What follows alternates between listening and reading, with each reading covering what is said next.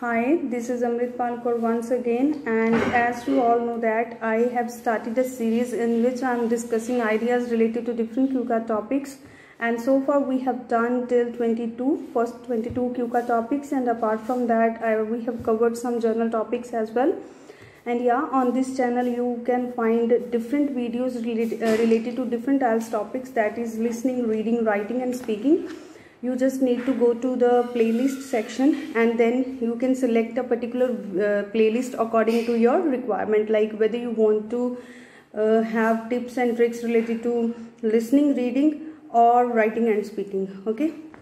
And apart from that I do prediction videos and uh, for the final IELTS exam. And so far every prediction has gone right and uh, I must say that the recent prediction which I did for 12th August 2021 uh, 2021 IELTS exam it went exactly right.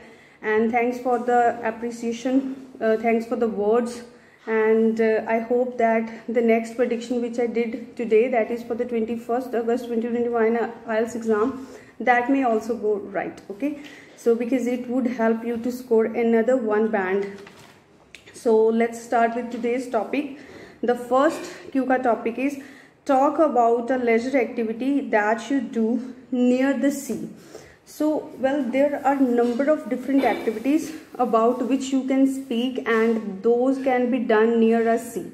So, for example, you may visited a beach and there you played or you did picnic or something like that. So, you can add anything which is related to these topics so it could be related to if i talk about picnic then you can say that it was a family outing and you all were very happy. So you were just uh, gossiping and teasing each other and then you started playing a game like truth and dare. So it was very fun activity.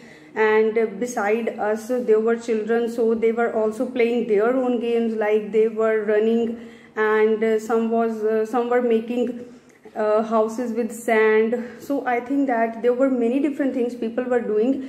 And yeah apart from that i have seen that there was a group uh, and they were from some non-government organization and they were all social worker.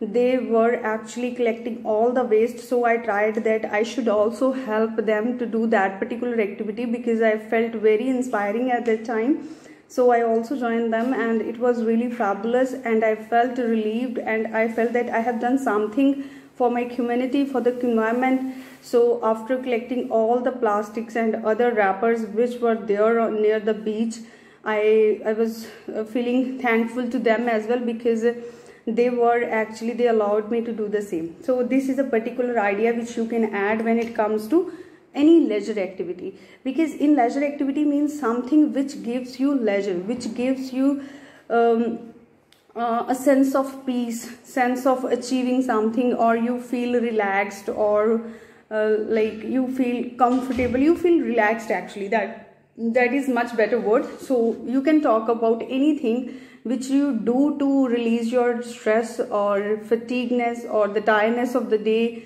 So you can talk about it the next topic is talk about a talk about something when you shared with other. Okay talk about anything you shared with other. So here you can say that being a student i generally share different things like books uh, stationery items uh, and sometimes our vehicles as well. So you can talk about any like uh, when you used to go to your school at that time you were sharing your bike with your best friend because you both were going to the same place. So it was like uh, more like doing a scooty pooling because you both were actually contributing. So this is how you can say. And apart from that you can share talk about any laptop or a book that you were sharing with your friend. So there are many different things. So i think that you can talk about any of these so i hope that now you have good idea about uh, these two topics and you will be able to uh, talk more and uh, as well as um, like more of interest. So i hope that you are taking benefit from my videos. So well thank you. All the very best